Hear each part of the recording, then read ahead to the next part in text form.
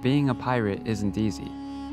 Other players spit on you, and banks refuse your service. On top of that, pirates can only train skills and obtain items in the following areas. Unless, of course, we find any maps to buried treasure.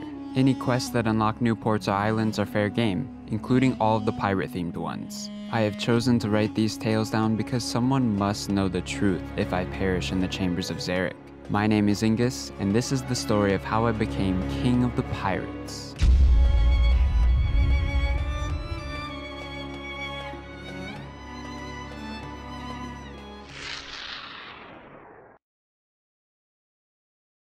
I spent a week on the beach catching crimson swifts, all the way to 50 hunter, and now I had the level required to catch eclectic implings, which, when caught, have a 1 in 10 chance of dropping 4 noted oak planks.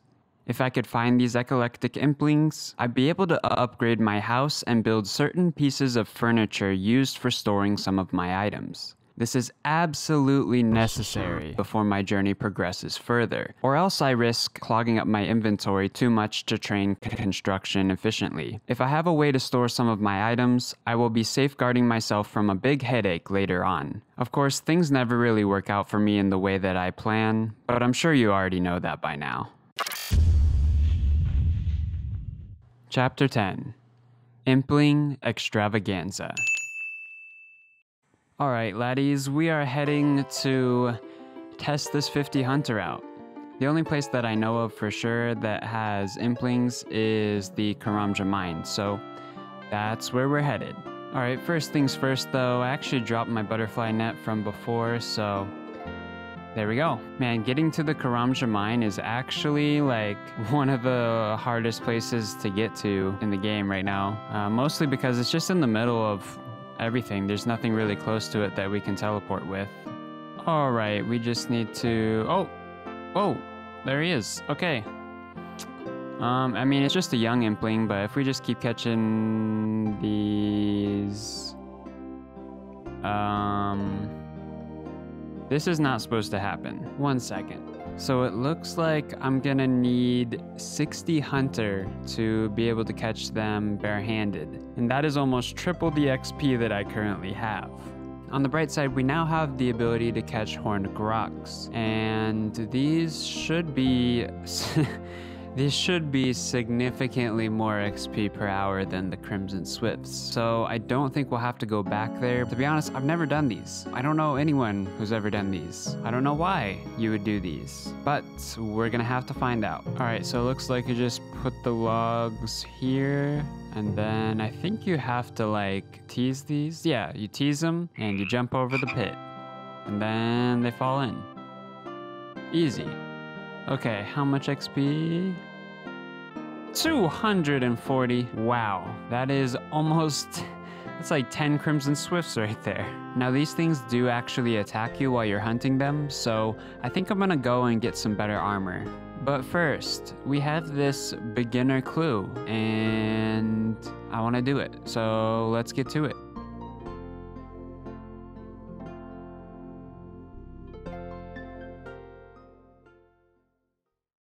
Always get, and freaked, I always out, get by freaked out by these balloons. What? You are very welcome, Mr. Prison Pete. And are those snapdragons? What?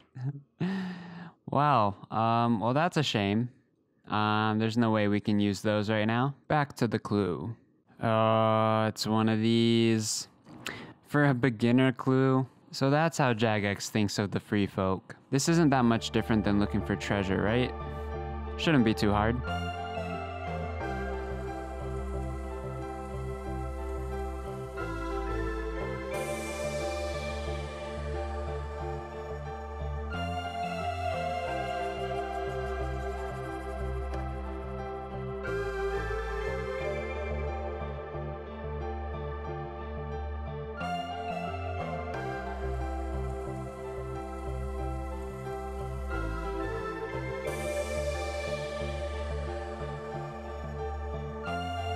Alright, here's the casket, and it only took like 20 minutes. Okay, so for whatever reason, I just had a bunch of runes in my inventory, so I'm just gonna use them up right here. That's a lot of gems. I'm gonna go grab a chisel and get some free crafting XP.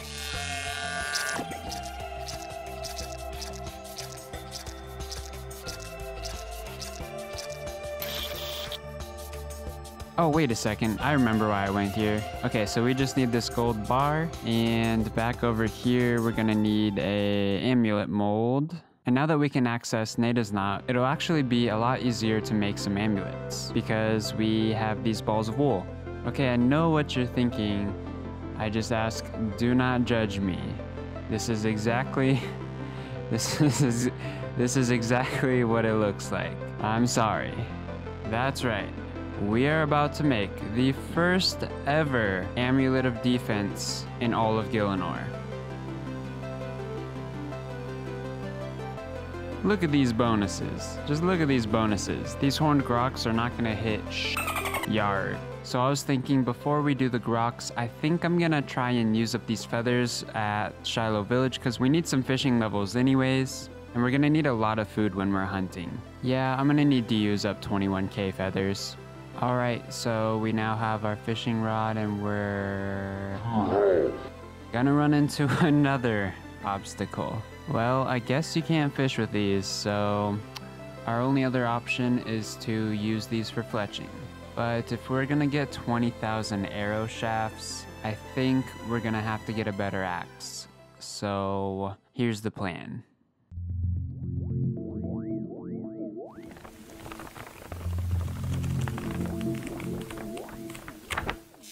Last time we needed an axe, we had to go get a mithril one from Red Dragons. That was the best axe that we could use. But now that we have ice trolls unlocked, there are still some roaming around Jatizso, which is a good thing for us because they drop adamant axes.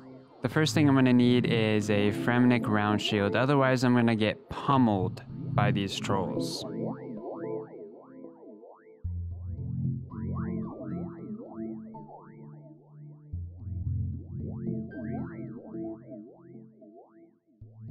And really I should be using this over the Mithril Kite Shield anyways because the stats are actually a bit better, surprisingly. Mmm, slamming. And we can sell our Mithril Kite Shield here for 1.5k. Instead of going onto the battlefield north of here, I think I'm gonna explore the mine.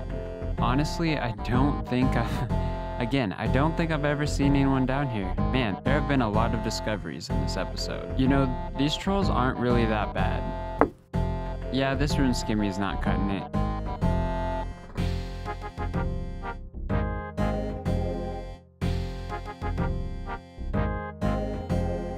The nice thing about these is there's actually a food store like really close by. Oh, no way! No way! No freaking way!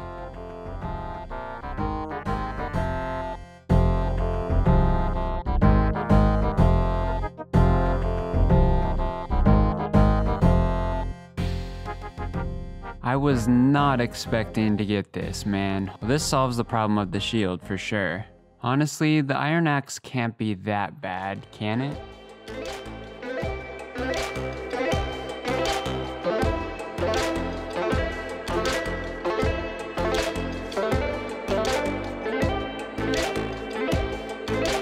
Yeah, there's just no way. There's no way. It's been like two minutes for 12 logs. I guess I could try oak.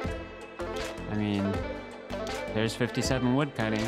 I wasn't even thinking about this, but it kind of looks like I'm procrastinating from Hunter. I promise you, I would never do that. I mean, come on, give me a break. I just caught like 2,000 Crimson Swifts. What is this swirling crop? Wait a second, hold the snail. I may not be the most focused person in the world, but sometimes my impulsivity really does come in handy. There's only one way to find out what's on the other side.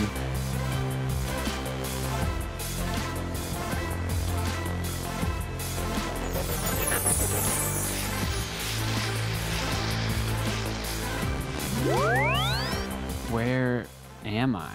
Whoa, this place is amazing. Welcome to Pearl Pearl. I'm Elnock.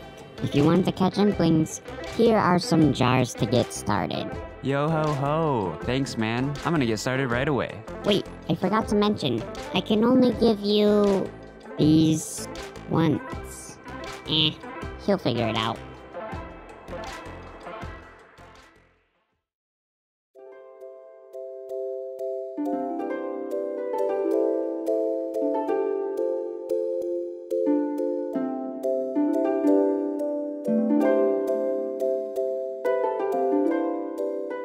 Let's see what we get here. Gold bars. Gold bars. Okay. Gold ore. Cool. Oh, what? Mithril pickaxe. That's way better than an iron one. Here's another one. Addy ore. I mean, we can't really do anything with it, but it's still cool to get. oh, yes. Yes, I knew these drop medium clue scrolls. I think the drop rate's like 1 in 25.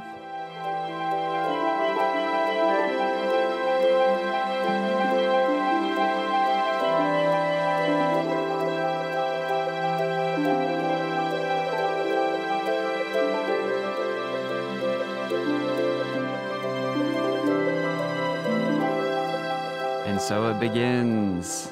Again, yes, dude, this has been a crazy, crazy roundabout way to get oak planks. I'm amazed that I'm actually here right now. Before I go any further, I had no idea there was a Puro-Puro entrance within my restricted zone. Talk about some luck. Just imagine if I hadn't noticed that when I was cutting those oak trees. Oh, whoa, you could get wild pies from here? I don't know if that's any use to me, but it adds five levels to your Slayer level. And we can't really, none of those matter, but it'll definitely be really useful in the future. Ooh, an adamant kite shield. I mean, it would have been useful earlier, but um, we have the rune one, so probably just alch that.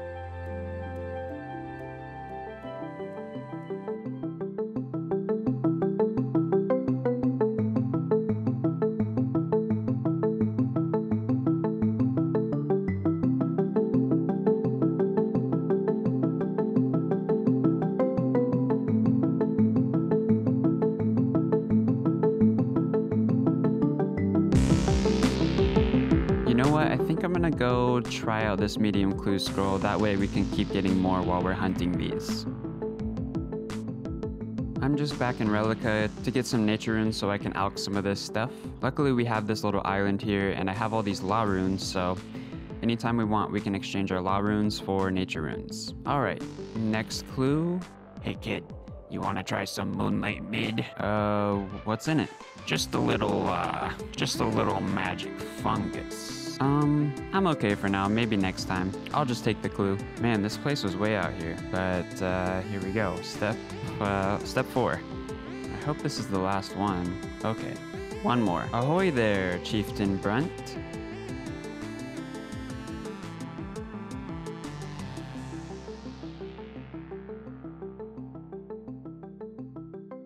I mean, it could have been a lot worse, but wait, wait a second. That's a yew short bow. I can't buy one of those. So that is good. Back in Puro-Puro, we can exchange these jars of implings for more jars. So technically we'll never run out.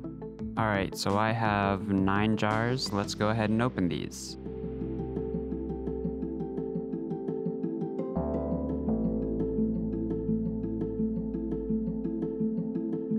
So we have made it up to 20 planks. So in order to use these oak planks, I need a few more construction levels, which means we're gonna need some inventory space. And one of those plans is to get rid of those feathers. Hopefully things will be a bit smoother from here on out and we can finally start accomplishing more. Wow, we really lucked out with this place. Without the free impling jars from this dude, we'd have to get 10 more hunter levels, which would totally suck. So I'm so glad that I don't have to do that.